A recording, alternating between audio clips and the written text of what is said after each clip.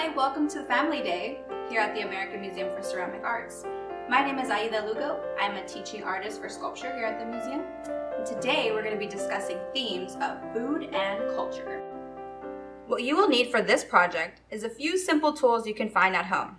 Here I have a toothpick, a popsicle stick, and some noodles for texture. The toothpick can be replaceable with a disposable fork. I can use a disposable spoon to smooth like I could a popsicle stick. And the pasta is for texture. You can use some seeds found outside, possibly a peach pit, or even a Lego. I also have one pound of clay from the museum. If you don't have clay from the museum, you can follow the links below to make clay of your own. I also have a workspace I can work on and some clothes that I don't mind getting muddy.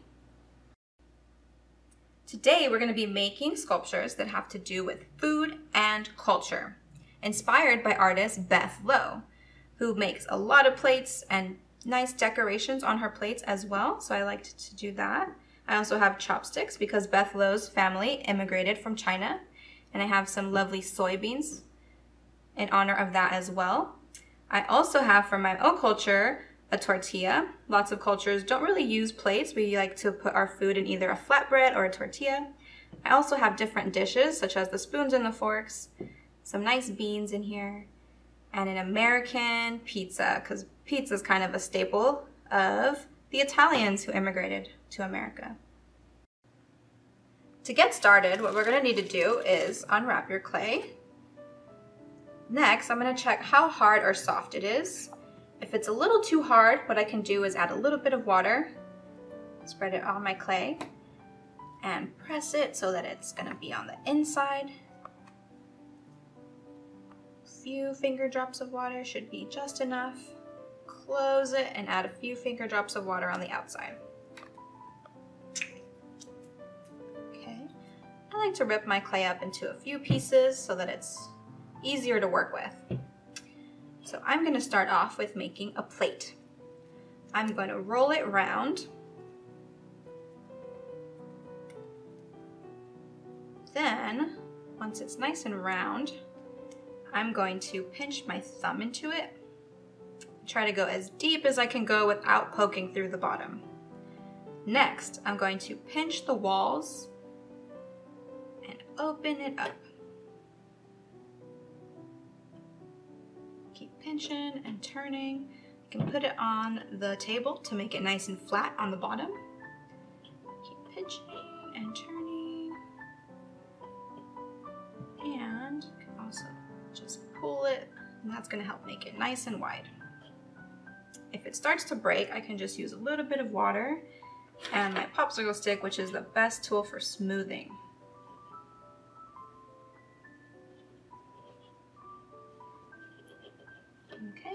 Fix that there. I like the sides of my plate to be pinched up just a little bit so that it can hold some food without it sliding off.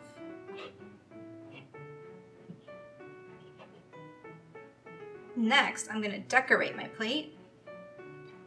I can use my pasta for texture, I can roll it on the side or stamp the other side. Can also stamp the ends.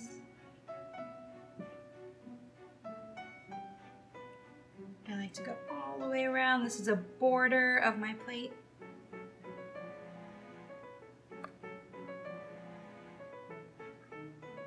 Next, on the inside, I can draw a little drawing. Inspired by Beth Lo, she likes to put characters on her plates. Some hair. Maybe some other shapes, a heart, star. Next, I'm gonna put some food on my plate. So I'm gonna start off by making a tortilla. I'm gonna roll it round again. I'm gonna flatten it up. I can also use the table to help make it flat. I'm flipping and turning so it doesn't stick. Go back to my hands. Also press my hands together. Make a nice tortilla, pinching it. And what can I put inside of it? Hmm. Well, I like maybe some little beans. Make them nice and round. Not too round because beans are an organic shape. Nice and round. And maybe this one's a little big. I can pinch it apart.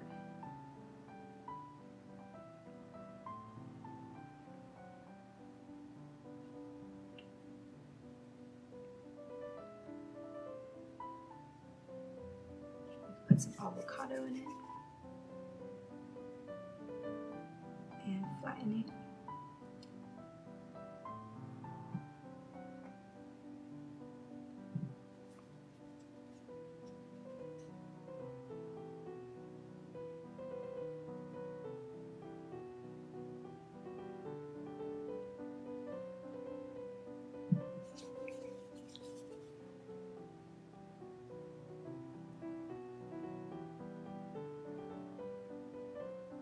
Maybe this could be a different vegetable. I can have my tortilla. Also make some utensils. I'm gonna make a spoon.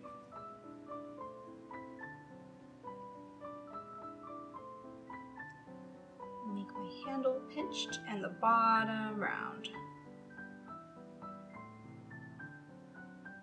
And open it up just like I did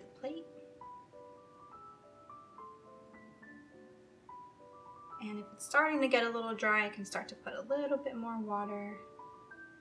Smooth out my clay. Pulling clay from the bottom to the handle.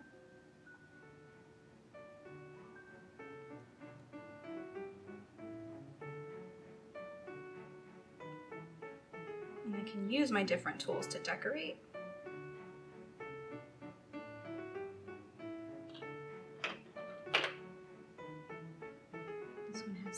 Lines on it. This one has some waves.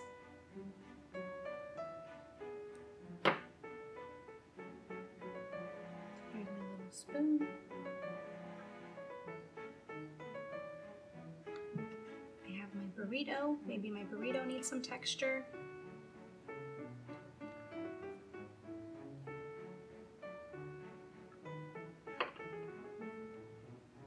Avocado so we can look more like avocado.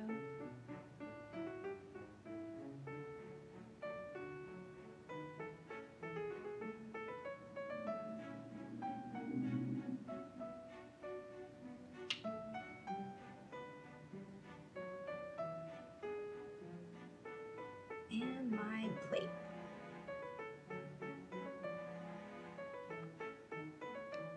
So, so these are some of the things I was inspired to make. What are some different foods that you can think of?